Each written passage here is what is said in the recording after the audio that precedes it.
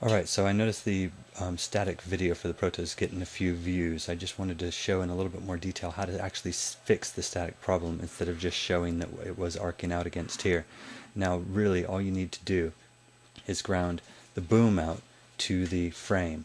Um, you can do that by clamping it to here after sanding the boom a little bit and then clamping uh, and then putting the wire under there. That should be enough um, because the the frames um, conductive, so it should be able to, to smooth out the potential, not build up too much of a charge.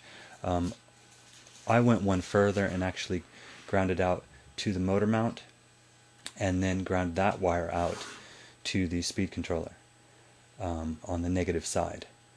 Um, that makes sure that the, the negative plane, the ground plane, or has um, even potential, so that basically has nowhere to arc out to. Um, you don't have to go that far. Most guys aren't going that far and going just fine. Basically, they're grounding out to the frame, which is conductive, which connects to the motor mount. Um, what I did was actually clamp the wire in there after sanding the end of the boom. I think you can see it shining down in there.